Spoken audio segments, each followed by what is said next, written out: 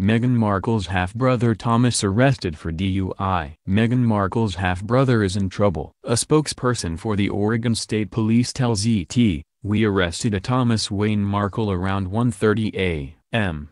on Highway 238 near Milepost 1 in Josephine County. He was stopped for speed and then arrested for DUI, driving under the influence of intoxicants. His blood alcohol content was 11%. He was lodged in a detox center in Josephine County. No other information is available at this time. The news comes after Thomas Jr. told Daily Mail that he was inviting his royal sister to his wedding in March. The Duchess of Sussex's half-brother, who works as a window fitter in Grants Pass, Oregon, is estranged from Meghan, but hoped that the wedding would bring them all together.